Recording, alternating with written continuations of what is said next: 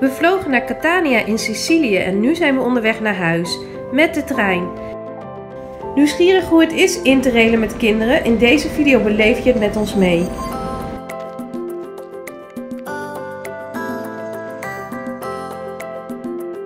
Catania is niet een van de meest interessante steden, maar we genieten van de zon en het Italiaanse eten.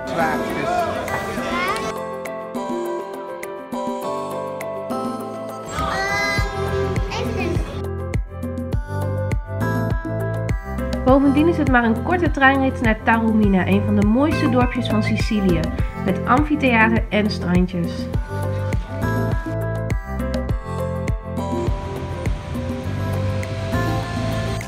er zin in? Ja! Hier zijn de bedden. Hier zijn de bedden. We worden met trein en al op de boot gereden en komen de volgende dag redelijk uitgerust aan in Rome. Ja, daarboven is een stuk. Het is ook heel oud.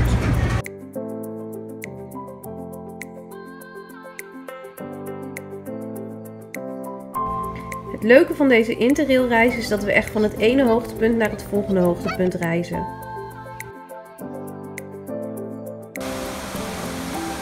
Ja. Wist je dat het maar anderhalf uur is met de snelle trein van Rome naar Florence? We gaan meestal uit eten, maar voor onze accommodatie kiezen we hostels of B&B's in de buurt van het station.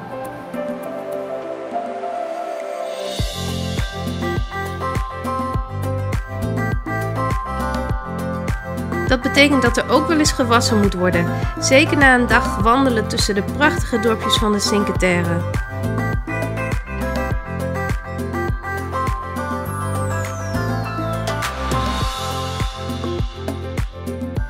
We verlaten Italië en treinen van Genua naar Bellinzona.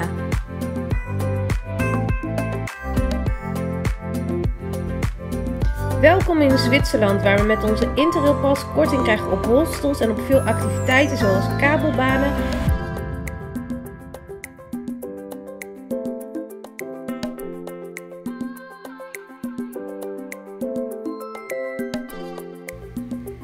De meeste dagen zitten we niet meer dan drie uur in de trein, maar dat zijn wel hele relaxte uurtjes. Potje Uno spelen, samen kletsen en zeker hier in Zwitserland naar buiten kijken.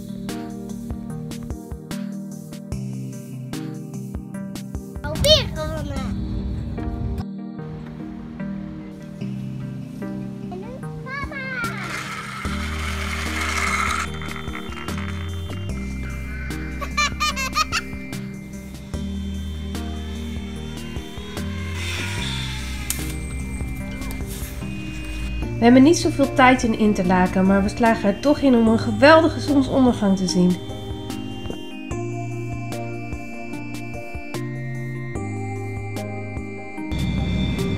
Zeker weten een van de mooiste treinritten, die van Interlaken naar Luzern.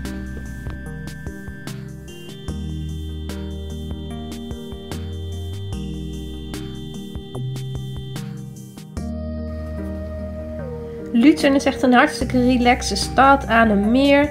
En eh, voor kinderen is er het hele leuke verkeershuismuseum.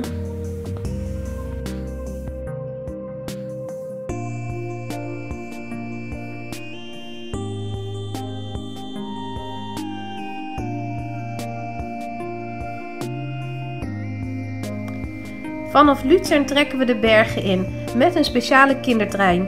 We gaan op schattenjacht en we vinden sneeuw.